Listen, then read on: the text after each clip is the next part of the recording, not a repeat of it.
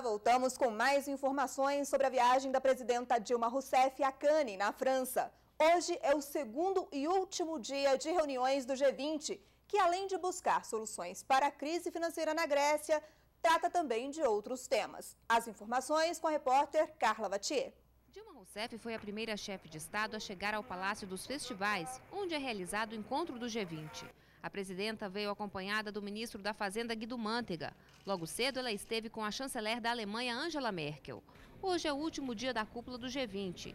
Depois dos desdobramentos da crise na Grécia, que acabaram dominando o primeiro dia do encontro dos líderes das maiores economias mundiais, é hora de fazer um balanço dos trabalhos e definir as prioridades para o ano que vem. Quem assume a presidência do grupo em 2012 é o México. Depois de participar das reuniões de trabalho, a presidenta Dilma Rousseff vai conversar com os jornalistas. Ela segue ainda hoje para Paris. Na capital da França, ela tem um encontro amanhã com a diretora-geral da Unesco, Irina Bokova. Bom, e a repórter Carla Vatier também acompanhou o discurso da presidenta Dilma Rousseff durante uma das sessões de trabalho, a que tratou de mudanças no clima.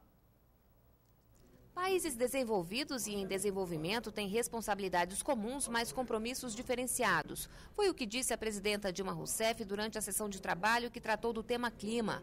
Ela afirmou que os países em desenvolvimento estão prontos para oferecer uma contribuição, mas essa ajuda não pode comprometer a redução da pobreza. Dilma aproveitou para lembrar os líderes do G20 que no ano que vem será realizada no Brasil a Rio Mais 20, que vai discutir o modelo de desenvolvimento que se quer para o futuro. De Cane, Carla Lavatier para a NBR.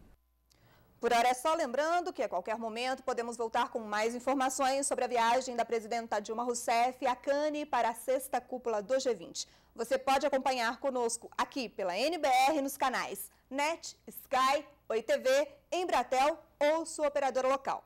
Pela internet no nosso site, pelo endereço da Presidência da República ou pelo blog do Planalto. Continue com a gente, NBR, a TV do Governo Federal.